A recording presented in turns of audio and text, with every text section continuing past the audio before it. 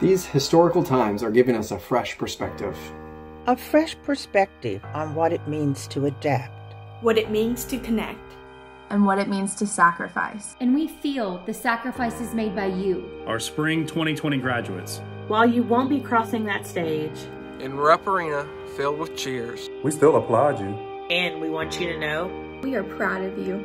We are so proud of you. We are incredibly proud of you. Your determination, your passion, your hard work has made our college a better place. And while this is not the celebration we had planned, we are celebrating you from afar.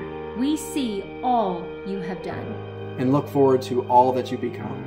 Future entrepreneurs, doctors, teachers, designers, farmers, lawyers, scientists, public servants. We salute you. Know that now, more than ever, the world needs you and all your potential. So prepare to lead the way.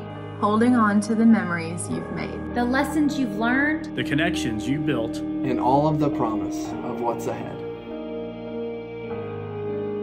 I wish we could be with you to celebrate your accomplishments and shake your hand.